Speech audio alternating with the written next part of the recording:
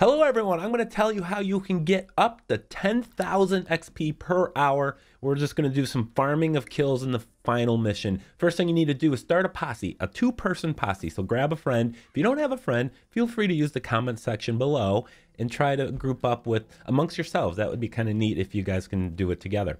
So now we're going to select a progress menu, go to the story mission, and we are going to replay the final mission called Kill Them Each and Every One. Now there's a specific uh, things that we need to do here in order to enter this as just a posse of two, not as a four player group. So once you get here, start matchmaking. Matchmaking is going to put you in a group of four, which is what we don't want because anything more than two is going to diminish our XP returns per hour. So we're going to matchmake. Once you enter a lobby, if you're on PlayStation, hold the circle button. If you're on Xbox, I think it's the B button. So hold the circle button to back out and then you can exit with posse. You need to do that. Now you're going to be put right outside the mission start point. You can see here the yellow circle. Now, in order to do this, you would have one of you have the, the posse leader had to have completed this mission previously. The other person has to have at least completed the first tutorial mission in uh, online. So now, once you're back out, you notice the time of day changed because uh, Carl here crashed. Now, Carl's my friend, good friend Norm. You know him if you're on Discord. You'll you'll know Norm hopefully. So Norm and I are going to now gallop over to the starting point together. So have him hop on your horse and come in here together. When you come in here together, you have the option to start matchmaking again, but you don't want to do that. Start mission is the option you want to choose there. Now you will be starting this mission just as a posse of two. Can't do this one with one, and three or four would just make this uh, much longer grind. Now I'm going to hop on my horse, Jeff. Shout out to Jeff in Discord. So Norm and I are going to hop on Jeff. Well, that came out wrong. But anyways, we are now go to Fort Mercer. You can follow this guy if you want, follow the leader. Otherwise, just if you know where Fort Mercer is, just go there.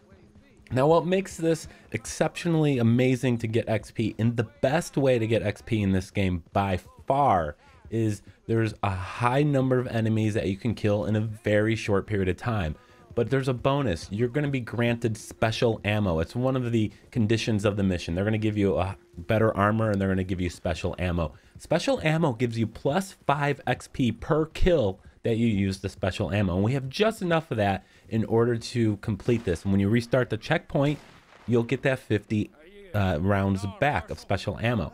So immediately, as soon as this cutscene is over, equip whatever weapon you want. In this case, I'm going to start off with the basic carbine repeater. And then when you're holding over that weapon, hit the D-pad to select the special ammo. It's very critical to do this. So now at this point, we're just going to clear out the fort up until we get to the final six to eight enemies. Because after that point, a cutscene will happen, a boss will come out, a heavily armored shotgunner is going to come out. If you reach that point accidentally, you're gonna you can kill yourself and then just restart the mission instead of restarting the checkpoint. So we're gonna go all the way up until that point. I'm gonna pull off an execution kill here. When you do an execution kill, you're gonna get 30 XP. That is amazing. You're gonna get the special ammo bonus, an execution bonus, the eyes wide shut bonus, plus the standard kill bonus. So you're going to get 30 XP. If you're on the Ultimate Edition, you'll get 36 XP or 34 or 30. I forget what it is. I have the standard version. You will even get bonus XP, at least until you're level, I think, 25. So you want to go through here, kill enemies as fast as you can. Try to do executions. You pull off an execution by walking or running up to an enemy and then hitting the R2 button. If you're running at them, you'll kind of tackle them that's a little less efficient. If you could just kind of walk up to them and then do an execution, it's much, much quicker. So my partner blew up, opened the front doors with the guns outside, and you notice I died. That is totally cool that I died. It's awesome because you have to kill yourselves three times in order to restart the checkpoint. You see in the top right corner, team lives. It says one. You start with two. So just go through here as fast as you can don't worry too much if you die, if you don't get towards the end. It doesn't matter.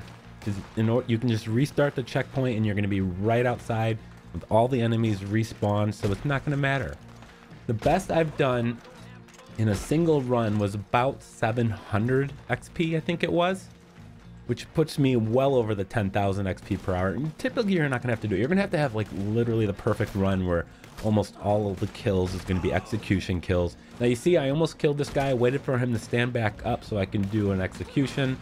Didn't work, so I did it a second time, third time, and eventually I'll, I'll finally get it there. Because the execution, again, is going to give you twice as many uh, XP as just a standard headshot kill would. Again, a headshot kill will give you 15, and execution will get you 30. So I'm just going to run up to these guys as fast as I can.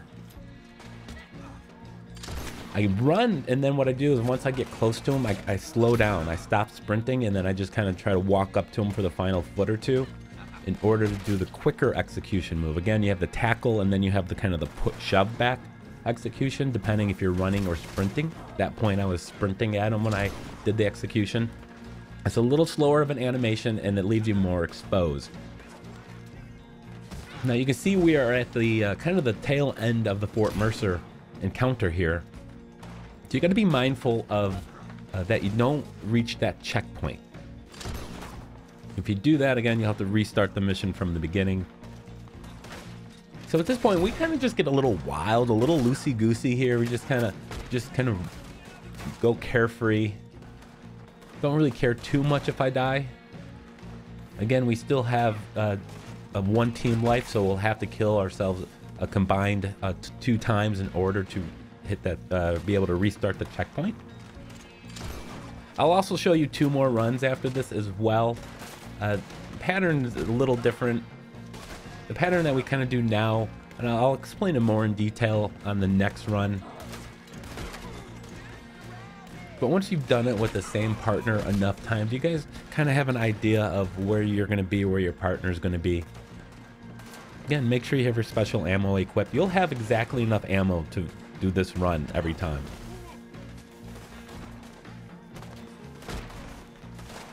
I mean, but for especially in the beginning, it's just like you can see on the right side of the screen, just the XP just keeps rolling in. Of course, that looks like they want to try pulling off that same execution on me. We won't allow that. Now, you can see the number of red dots on there. I'm getting really concerned, so we're just trying to let them kill us. Again, you do have more armor in this mission than you normally would. Now at this point, hit the X button, hold it down to reach high tech checkpoint. When you retry the checkpoint, you're going to have to switch back to your special ammo. So select your gun while you're selecting it, hit right on the D-pad to select the split ammo.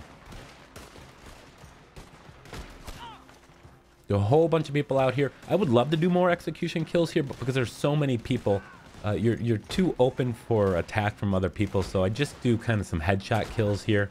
Clear this out. If I can thin it enough to get a execution kill, I'll do it. Again, if you die, who cares? Your checkpoint is like 20 feet away. It's, it's really, really an amazing efficient way to do this. Now, again, as far as our pathing go, and what we do is we clear out everyone here in the front. There is someone on a Gatling gun on the left and someone on the right. Those are going to be the guys that'll probably kill you if you find yourself dying here. So try to target them first. We try to take them out right away. I took the left side. He took the... Norm took the right side. Norm then blew open this gate. I come in here. I shoot the first few guys that I see here. Just because there's so many people here. Usually I'll just go straight upstairs at this point, but I decided, ah, what the hell, let's just go ahead and do a get some quick XP stealing it from Norm. He'll never know, I promise. He won't watch this video. Then I come upstairs. I kind of do the top. He does the bottom portion here in this uh, first half. This time we got an easy execution on that guy. That guy gave us a little issues the last time. Again, always prioritize execution kills with the special ammo. Uh, let's see, it looks like I died here, but again, who cares? We got three, two lives to, to play with. You start right outside. Doesn't take you long right to get back into the fray. It's worth taking a chance, taking a risk at running at someone to get the execution kill when you can get twice as much experience when you do it. Norm has already kind of moved on towards the back side. I fell a little behind because of my death. So I'm going to drop down, and kind of clean up a guy here. But there is going to be no better legit way to farm XP than doing this. This is not an exploit. I guess you can call it an exploit, but this is just farming basic game mechanics. This is something that you do in thousands of different games. There's no way this can be patched, so don't worry. The only way they could probably slow down people from doing this is by adding in more checkpoints or something. Or not giving you refilling your special ammo. Suppose that was probably that would be the best way to do it. So there we go. We ran out of lives, so restart the checkpoint. Go ahead, equip. Make sure you equip your special ammo. We're gonna start it again. The way the, the game really halts your your your level grinding and, and is just it's almost absurd. You can almost tell that they're trying to to find a way to get you to buy any kind of microtransactions. The gold bar situation and how long it takes just to old uh, to earn one gold bar, and a lot of things that you have to purchase has such a high cost of gold bars. It is kind of a little ridiculous. I hope Rockstar does some balancing it would just it would just make it a little easier. Right now it's it's really really slow going. This if you farm this is still going to take you a long time to rank up the the 50, 100. I can't even imagine how long it would take. It may take if you're around level 20, it may take about 45 minutes to go to 21. But considering how long races take, how long any of the online PvP things take, how little XP is awarded for most tasks. Stranger missions gives you higher XP when you complete it. However, the length of time and the travel and everything that's involved, the best way is by far the, the farm kills. And since this is where you're going to get the highest number of enemies in the smallest area with a checkpoint, a generous checkpoint system for us, if you had to ride your horse all the way back from where we started every time you restarted, this would still be the best and most efficient way to farm XP. But because the checkpoint is right outside, it makes it even better. And then with the, the bonus you get for the special ammo, and then of course with the execution kills, there's a solid one right there. Of course, one of his friends took me out. Huh, who cares? We need to die three times before we uh, have to restart the checkpoint. And what's the worst case scenario? If you die in here and you lose all your lives, you just respawn back outside. Granted, the outside people, there's less opportunities for uh, execution kills. I made sure he got back up. And I like this. Norman, I just shot that guy at the same time.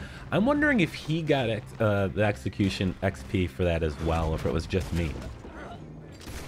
I feel like his shotgun uh, went off first. I think he was using a shotgun. He got that as the pre-order bonus. So again, you're going to average probably around 7,500 XP per hour. Uh, if you you can spike up to 8,000 if you really do this for for a while and and get your patterns down and, and you have a good partner that work with you understand that you know you do this and you do that uh, you can really with the skill of the execution system get 10,000 or even more XP than that. There were a few games a, a few attempts where I would have averaged more than what it would have been to get the the 10,000 I feel like I can clean up this this kind of this back half a little better. Snipe off a few people and then done execution kills. But again, you don't want to get to less than, you know, six or seven or eight enemies. Otherwise, you'll trigger the next checkpoint. Anyways, I'm done rambling. I want to thank you guys for watching this video. If you found it helpful, if you made it this far, let me know in the comments and hit that like button. And if you're a trophy hunter and you love Red Dead Redemption, make sure you subscribe. We'll see you soon.